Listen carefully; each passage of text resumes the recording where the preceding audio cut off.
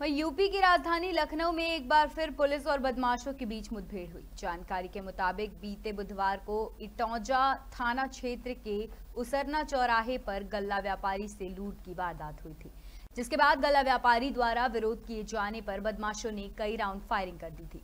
इस हमले में गल्ला व्यापारी बाल बाल बच गए थे। इसी के बाद लखनऊ पुलिस ने दिन दहाड़े फायरिंग कर पैसों की लूट करने वाले बदमाशों को मुखबिर और सर्विलेंस की मदद से पता लगा लिया।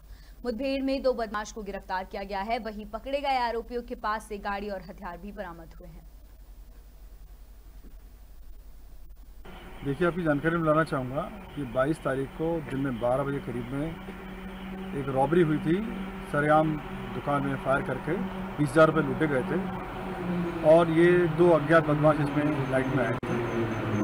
आज अज्ञात बदमाशों की तलाश में जब एस की टीम जिसका प्रतिनिधित्व शिवराम सिंह कर रहे हैं, विश्वनाथ प्रताप सिंह कर रहे हैं, और थाना इटौजा के प्रभारी निरीक्षक, इनके द्वारा जब चेकिंग की जा रही थी तो चेकिंग के दौरान एक बाइक सवार दो बदमाश थे, जिनको रुकने का इशारा किया गया, जिन्होंने न रुक कर पुलिस पर फायर किया। इसमें जवाबी फायर में एक बदमाश है, अदीब, जिसके पैर में दो गोली लगी हैं, दोनों पैरों में। ये बदमाश इस पर नौ मुकदमे हैं और ये मुख्य बदमाश था जिसने फायर किया था और लूट करी थी। इसका एक साथी पकड़े गए हैं और इस बदमाश को, जिसको गोली लगी है, इसको हॉस्पिटल भेजा गया है।